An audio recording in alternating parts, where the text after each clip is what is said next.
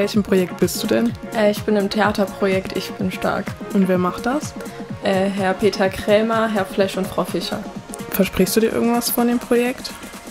Eigentlich gar nicht mal so viel. Also ich denke, so die groben Kenntnisse zu erfahren, wie man so Theater spielt oder worauf es da ankommt, wäre eigentlich schon ganz cool so. Jetzt ist ja erst der erste Tag, aber wurden deine Erwartungen schon erfüllt heute? Also ich habe es mir ein bisschen anders vorgestellt, weil ich eben ähm, wie Nina auch vorher in dem Grundkurs von Herr Krämer bin und das war halt komplett anders. Also heute ist schon mehr so mit Analyse und so, so die Mimiken wirklich analysieren und was wir damit anrichten bei anderen Menschen. Aber an sich ist es ganz interessant. Und es macht dir trotzdem Spaß. Ja. Und was habt ihr bis jetzt so für Spiele gemacht oder Übungen eher? Äh, wir waren ganz am Anfang auf dem Schulhof mit der ganzen Gruppe und mussten dann so Affen sein und dann immer Xing Shang Chong spielen und dann hat man sich so hochgearbeitet, bis man dann zum Menschen wurde. Also haben wir quasi so die Evolution nachgespielt. War das dann schwer für dich ernst zu bleiben? Ja. Ja.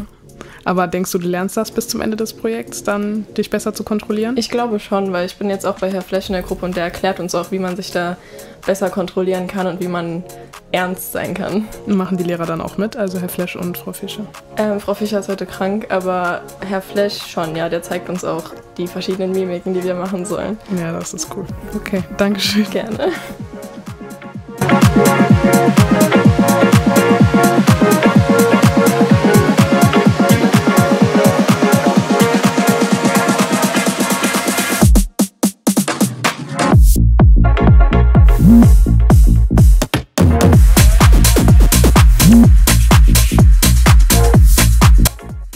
Flash erzählt uns, dass sich sein Projekt so entwickelt hat, wie er es sich erhofft hat.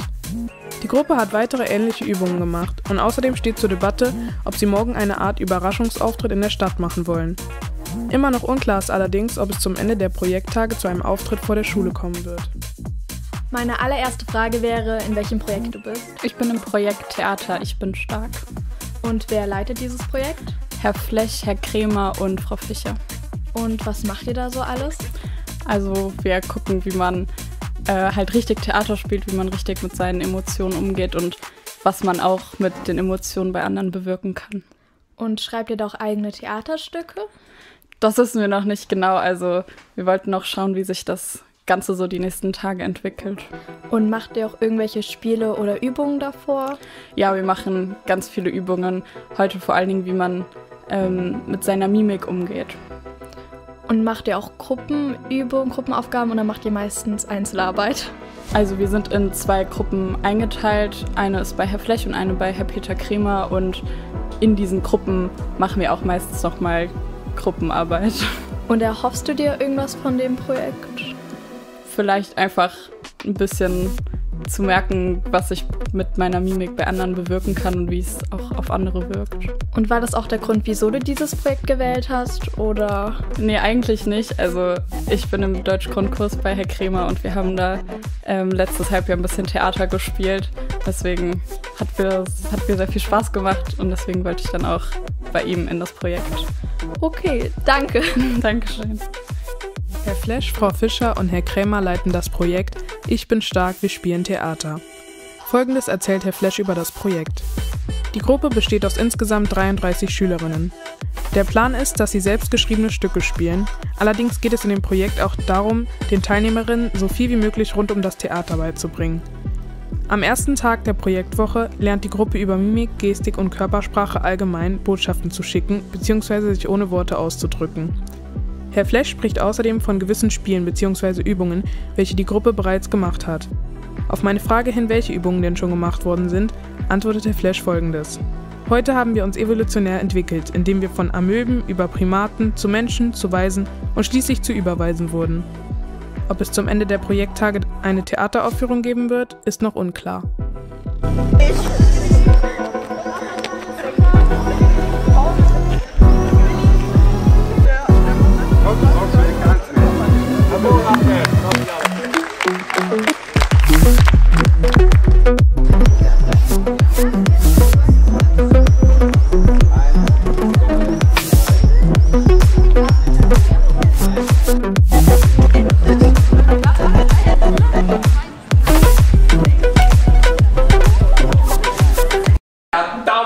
Herren, liebe Kinder, liebe Zuschauer, liebe Theaterfreundinnen, zu unserem Reigen die Schule der Träume.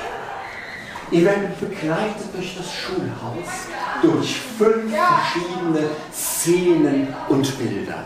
Lasst eure Fantasie mitschwingen. Lasst die Flügel der Poesie die Aufführung begleiten, auf das etwas Neues, Unerwartetes, nie Dagewesenes entsteht, welches wir nennen die Schule der Träume. Ich muss hier spielen. Und jetzt machen wir die Tür zu, weil da den Setzt euch einfach vor die anderen davor. Enno, setz dich davor. Ja, vor die anderen. Zum rein organisatorisch.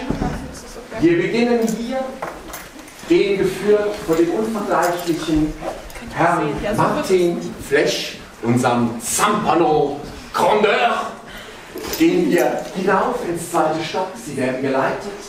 Und wir kehren zurück in den ersten Stock, um den Reigen zu beschließen. Das ist das, was auf Sie zukommt, heute Morgen. Was noch fehlt, ist unser Grand Seigneur Martin Flesch. Wenn er kommt, werden wir beginnen.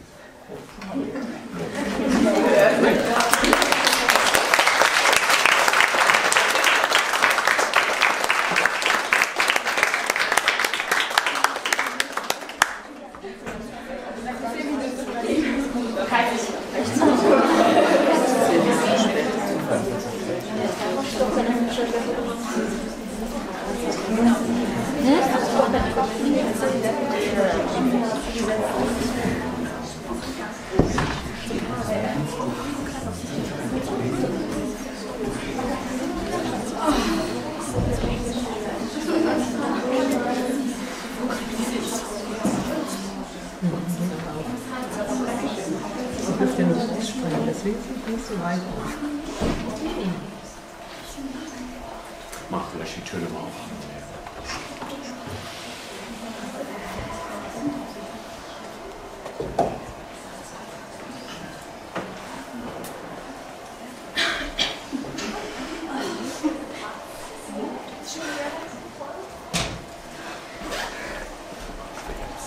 Um fünf nach ist die nächste Aufnahme. Yeah,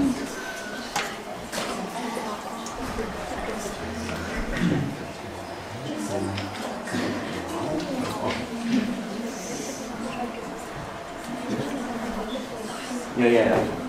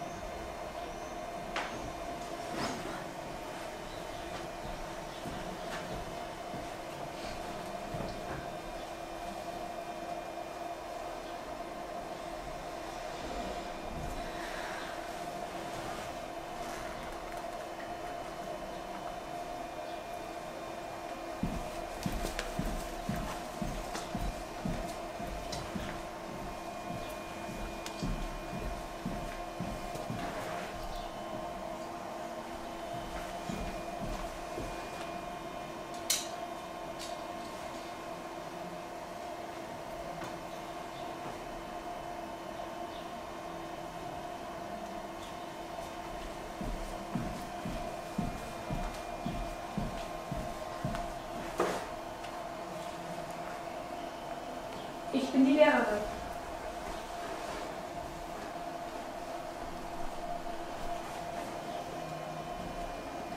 Ich habe zu viel Druck. Ich habe es immer noch nicht verstanden.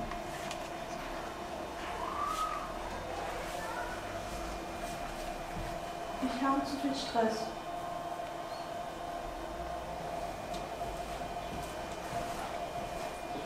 Ich komme nicht hinterher.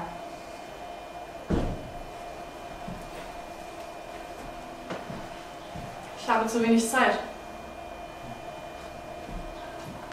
Ich finde es zu kompliziert.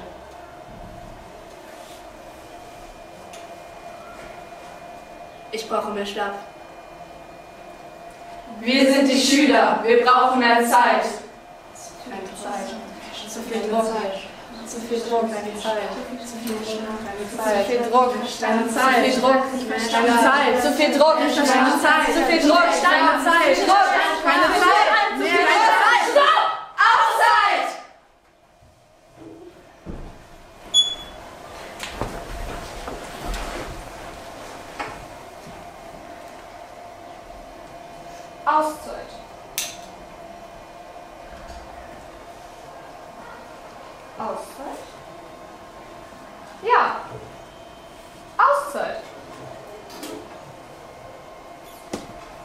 Ich erklär's dir nochmal.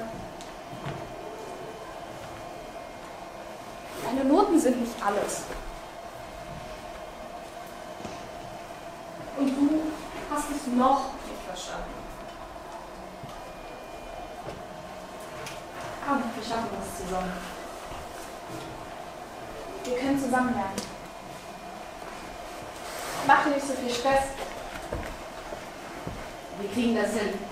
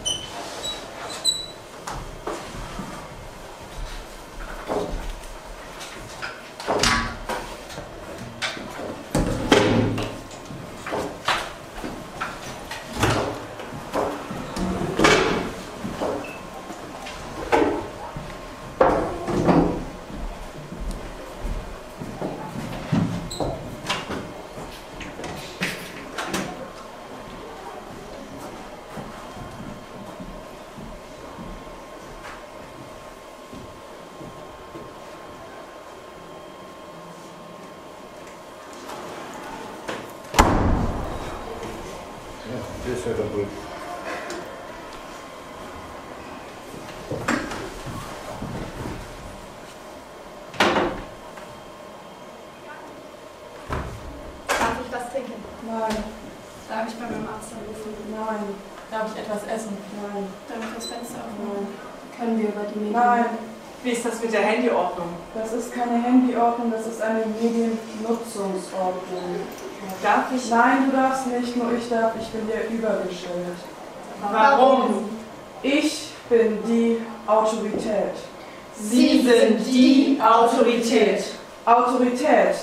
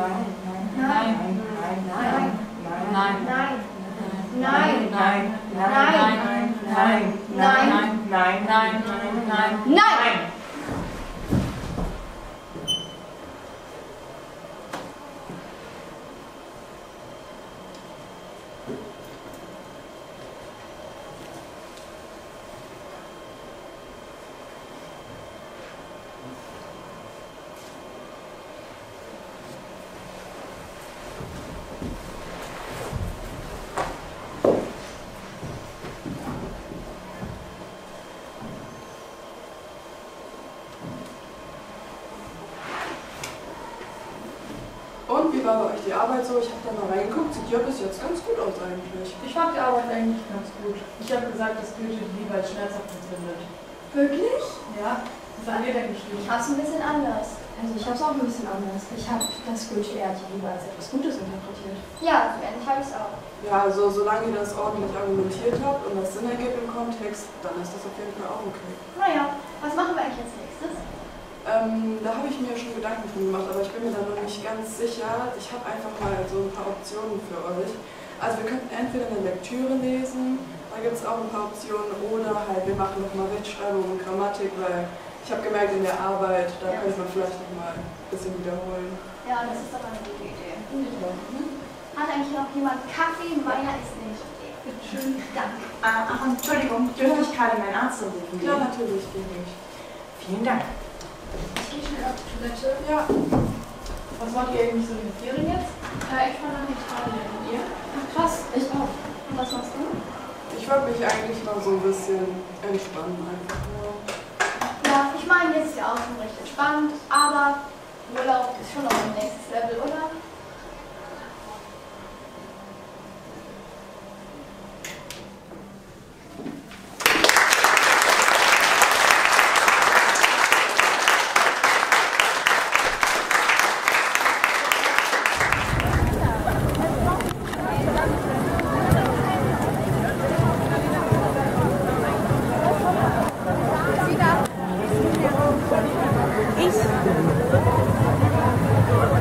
Es war leise.